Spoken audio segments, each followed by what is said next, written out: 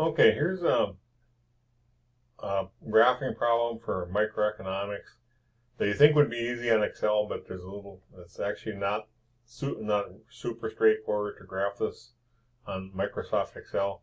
And what we're going to do, we have this data, and we have prices, and then we, we're going to graph the quantity supplied and the quantity demanded on the same graph.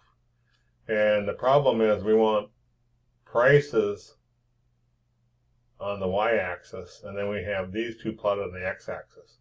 So if I just go ahead and highlight this, and I go insert, and I go here to scatter plot.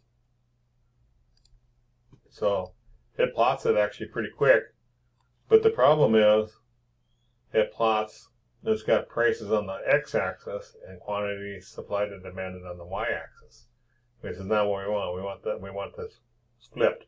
Now you might think, well, I can just hit this switch row and column, right? But that's not, that makes kind of a goofy graph. That's not what we want. So I'm going to switch it back. So what you really have to do, you have to tell Excel what, what axis I want th this uh, graphed on. Okay. So, uh, it's not that hard, but the first time you do it, it doesn't seem that intuitive. So I'm just go ahead and click on one of these. And then I'm going to go up here. When I click on the, when I click anywhere on the chart, you get this chart design. You don't really have to click on one of these.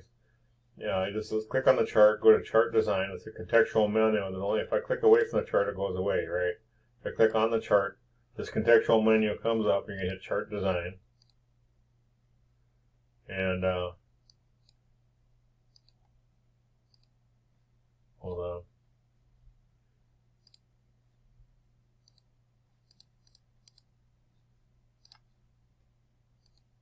There we go, chart design. And then we're going to go to select data.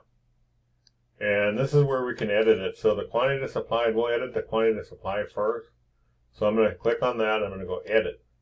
And this is, it tells you what, it, what it's picking here. Quantity supplied, it's picking B, sheet 1, B2, which, so that's what we wanted. That's what the name of the series is. But the X values, you can see it's doing 1020. And we want the X values to be quantity supplied. So I'm, what you have to do is you highlight this and go, go ahead and delete it, and then highlight the quantity supplied.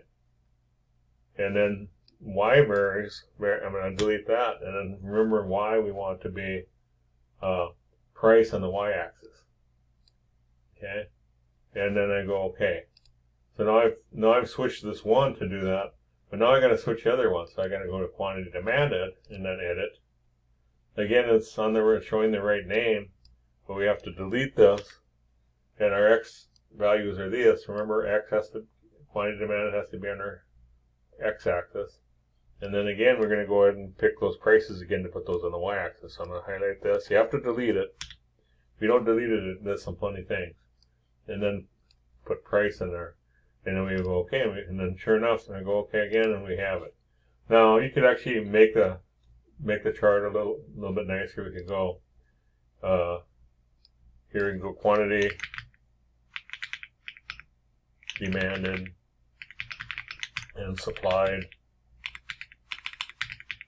versus price for the title.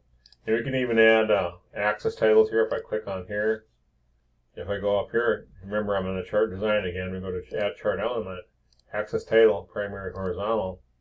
I can type here uh, QS and QD and hit enter.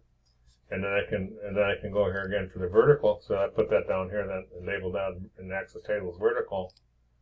Again, actually, since price is already here, I actually can go here and go equals price and then enter and it puts the price in there. And sure enough, now you have, whoops, control Z is your friend. Now we have a really nice graph. Uh, and it has the things on the right axis. It has the price on the y-axis and the quantity of supply and demand on the x-axis. So, like I say, the problem with with um, when you do it, it automatically picks this first one as the x-axis, and these two as the y-axis. And we actually want these two as the x-axis and that as the y-axis. So you got to do a little bit extra work. So hopefully that helps. If you like this video and you want to subscribe to my channel, my picture should come up here. And you can just click on my picture to subscribe. Give me a thumbs up. Uh, give me any comments. Uh, hopefully that helped. Bye.